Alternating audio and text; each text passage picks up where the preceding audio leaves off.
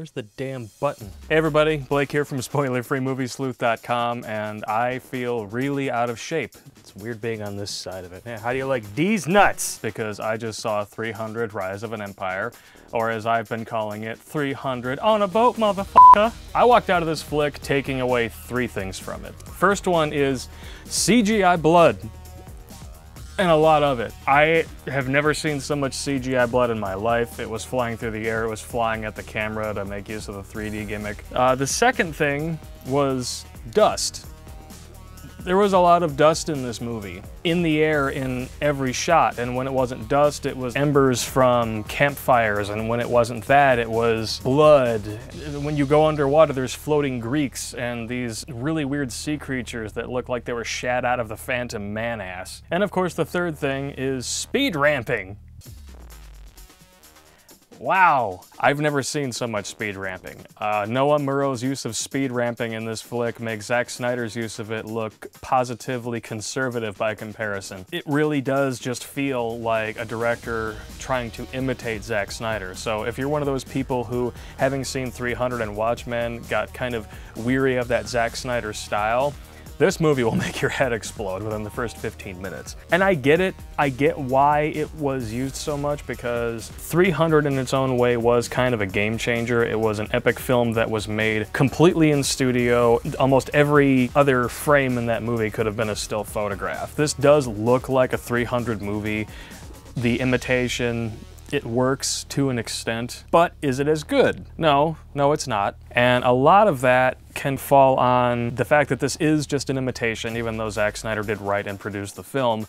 And our leader, has nowhere near the charisma of Gerard Butler. Sullivan Stapleton, that name by itself, Sullivan Stapleton, that, that to me sounds like five or six good ass kickings in high school. This does not seem like a dude that you would follow into battle to die with. It seems like a dude that you'd go have a beer with you need a guy that has that innate authority, no matter how many inspirational speeches he may want to give. And that's not to say that Sullivan Stapleton is bad in the role, far from it actually. He just, he's an everyman. And when I'm gonna go running into battle with nothing but my abs to protect me, it better be worth it. He better be worth it. On the flip side of it, you have Eva Green, who is phenomenal in this flick. She's completely sinking her teeth into this role and having so much fun with it. You can tell from frame one. She's authoritative on screen, she's sexy, but more than that, she's a badass. And considering this was based on a graphic novel that was just called Xerxes, we don't really get a whole lot of Xerxes in this movie. So Eva Green really is the central villain, and it's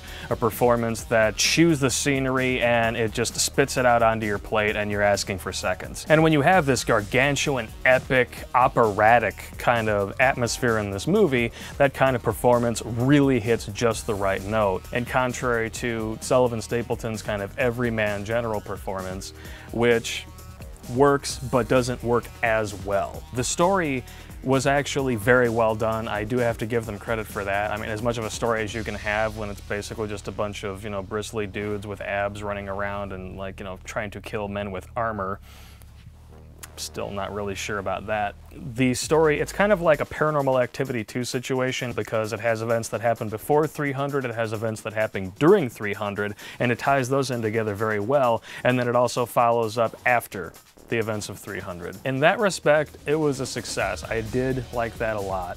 And most of the time I did find myself just simply enjoying the movie. I mean, it's not great cinema by any means, but if you're just looking, you know, for a couple of hours to kill and some soda and popcorn in your mouth and, you know, some boobs in your face, because Eva Green's got great ones, you could do a whole hell of a lot worse because I went and saw Devil's Due and that's already an early contender for the worst film of the year. I'll take 300 Rise of an Empire on a boat motherfucker any day.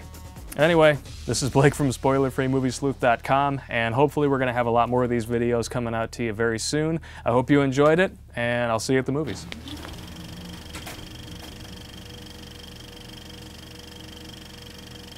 This is Sparta!